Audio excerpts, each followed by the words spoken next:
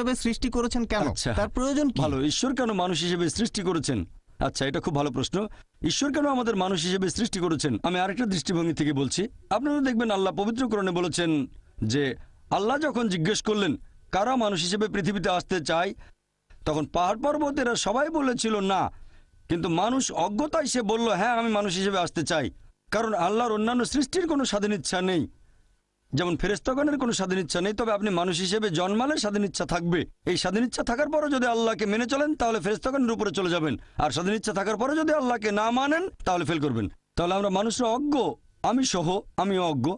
আমি বলি, আ, আমি পরীক্ষার ডিস্টিংশন পাবো অনেক নম্বর। কিন্তু কোরআন বলছে, আমরা মানুষরা অজ্ঞ। আমরা পরীক্ষা দিতে রাজি হয়েছি, এখন পরীক্ষা চলছে। আমার স্মৃতিতে সেটা নেই। শেষ বিচারের দিনে আল্লাহ সেই স্মৃতি দিয়ে দেবেন। আল্লাহ পবিত্র কোরআনে বলেছেন, আল্লাহ কথা দিয়েছেন, সুরা আরফ। অধ্যায় নম্বর সাত। আয়াত নম্বর একশো বাহাত্তর। আমি আদম সন্তানের পৃষ্ঠদেশ থেকে তাদের বংশধরদের বের করি, আর তাদের বলি, তোমরা কি মানো আল্লাহ একজন? তারা বলে হ্যাঁ আমরা মানি। এখন স্মৃতিটা আমাদের মাথায় নেই। শেষ বিচারের দিন আল্লাহ স্মৃতিটা আবার মাথায় দিয়ে দেবেন। আমরা অজ্ঞ, বোকা, তাই বলেছিলাম আমরা পরীক্ষা দিতে রাজি আছি। ধরেন কেউ এমবিবিএস পরীক্ষা দেওয়ার ইচ্ছা করল, টিচারও বললেন, দাও।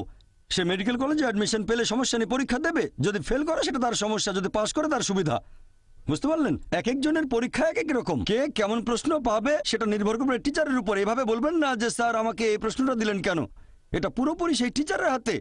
তিনি আপনাকে দিতে পারেন এক নম্বর বা দুই নম্বর প্রশ্ন, সেই প্রশ্ন আসতে পারে তিন নম্বর বা পাঁচ নম্বর অধ্যায় থেকে। একইভাবে আল্লাহ তালা এক একজন মানুষকে এক একভাবে পরীক্ষায় ফেলেন। কিছু মানুষকে বানান তিনি ধনী, কিছু মানুষকে বানান গরিব, কিছু মানুষ স্বাস্থ্যবান, কিছু মানুষ অসুস্থ। তবে আল্লাহ তালা যার যেভাবে পরীক্ষা নেবেন, সেভাবেই তার বিচার করবেন। যদি পরীক্ষাটা কঠিন হয়ে থাকে, তাহলে টিচার খাতা দেখবেন ছাড় দিয়ে।